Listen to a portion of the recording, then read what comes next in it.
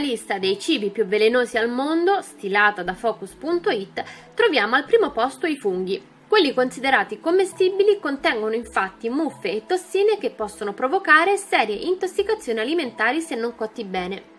Al secondo posto c'è la noce moscata che contiene la miristicina, una neurotossina che se assunta in quantità elevate può provocare allucinazioni e addirittura convulsioni. Al terzo posto figurano i fagioli. Questi legumi contengono una tossina chiamata fitoemoagglutinina che può provocare vomito, diarrea e addirittura portare all'avvelenamento.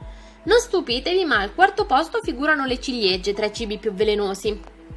All'interno del nocciolo infatti è contenuto l'acido cianidrico, da cui, lo dice la parola stessa, si estrae il cianuro.